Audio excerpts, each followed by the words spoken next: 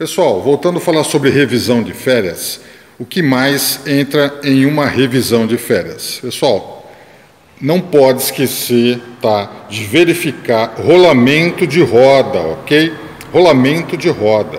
Coloca, ergue o carro, ok? Uh, e verifica como está as rodas do veículo, ali, os rolamentos tá, de roda do veículo. Se tem ruído, ok? Beleza? Isso é muito importante numa revisão do veículo. Esse item é especial, não pode deixar de fora, tá? Rolamento de rodas, verificar as quatro, os quatro rolamentos de roda, beleza?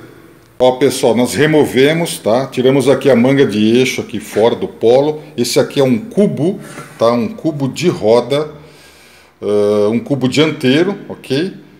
E ele deu problema aqui, tá? No rolamento dianteiro do lado direito. Então, na revisão, é muito importante verificar os rolamentos de roda, tá? Esse aqui é o rolamento velho, original ainda do veículo, ok?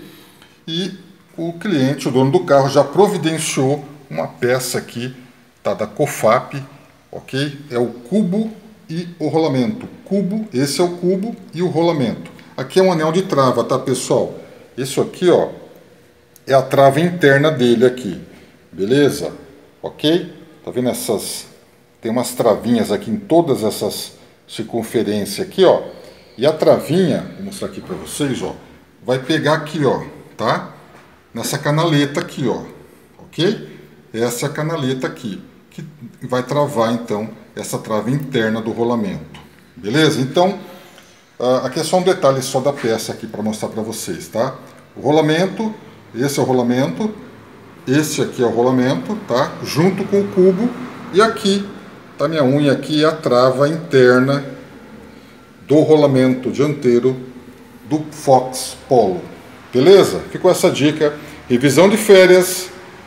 Verifique os rolamentos de roda porque pode dar um problemão na estrada aí, tá? Se tiver uh, até com risco de acidente aí, tá bom?